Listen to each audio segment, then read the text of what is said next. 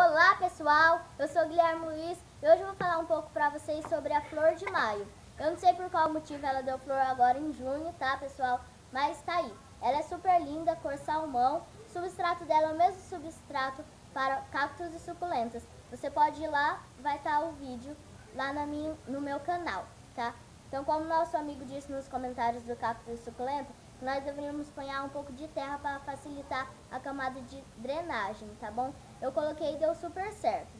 Depois que acabar a floração, ela vai ficar meio murcha, meio amarela, mas é assim mesmo. Eu costumo adubar com fertilizante foliar, mas você pode usar o fertilizante que você quiser. Ela é um cacto, pessoal, não parece, mas é. Então, esse foi o nosso vídeo de hoje. Espero que tenham gostado. Até a próxima. Tchau! Tchau!